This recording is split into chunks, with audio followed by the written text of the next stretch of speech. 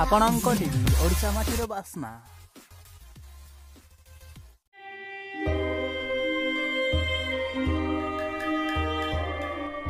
ଅଧିକ ଚିକିତ୍ସା ଲାଗି ଦିଲ୍ଲୀ ଗଲେ ଅଲିଉଡ୍ ଅଭିନେତା ପିଣ୍ଟୁ ନନ୍ଦ। ତେବେ ଦିଲ୍ଲୀ ଯିବା ପୂର୍ବରୁ ପୁଅଙ୍କୁ କ'ଣ କହିଲେ ଅଭିନେତା ପିଣ୍ଟୁ ନନ୍ଦ ଜାଣିବା ପାଇଁ ହେଲେ ଭିଡ଼ିଓଟିକୁ ଶେଷ ପର୍ଯ୍ୟନ୍ତ ଦେଖି ନିଅନ୍ତୁ।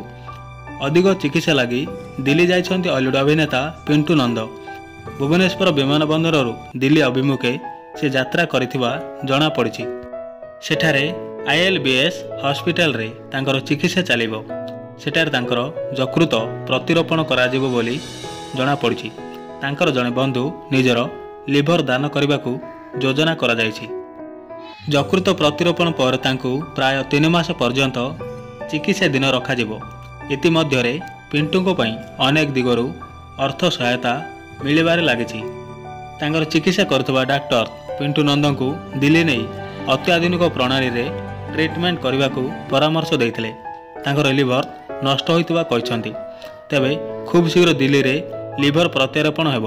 ଏଥିପାଇଁ ପଚାଶ ଲକ୍ଷରୁ ଅଧିକ ଟଙ୍କା ଖର୍ଚ୍ଚ ହେବ ବୋଲି ଜଣାପଡ଼ିଛି। ଏଣୁ ବନ୍ଧୁ ଓ ପରିବାର ବର୍ଗ ଟଙ୍କା ଯୋଗାଡ଼ କରିବାରେ ଲାଗି ପଡ଼ିଛନ୍ତି।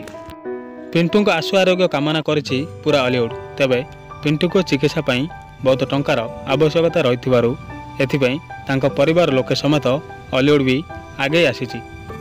ଅଭିନେତା ପିଣ୍ଟୁ ନନ୍ଦ ଦିଲ୍ଲୀ ଯିବା ପୂର୍ବରୁ ଡକ୍ଟର ଅଚ୍ୟୁତ ସାମନ୍ତଙ୍କୁ ଭଗବାନ ବୋଲି ମାନିଛନ୍ତି କାରଣ ସେ ଦୁଇ ଲକ୍ଷ ଟଙ୍କା ତାଙ୍କୁ ସାହାଯ୍ୟର ହାତ ବଢ଼ାଇଛନ୍ତି। ତା ପରବର୍ତ୍ତୀ ପର୍ଯ୍ୟାୟରେ ତାଙ୍କୁ କହିଛନ୍ତି ଯେ ତାଙ୍କ ପିଲାମାନଙ୍କର ଭବିଷ୍ୟତର ସବୁ ଦାୟିତ୍ୱ ନେବେ। ତେବେ ଅଭିନେତା ପିଣ୍ଟୁଙ୍କ ଆଶୁ ଆରୋଗ୍ୟ କାମନା କରନ୍ତୁ ଏବଂ ତାଙ୍କୁ ସହାୟତାର ହାତ ବଢ଼ାନ୍ତୁ।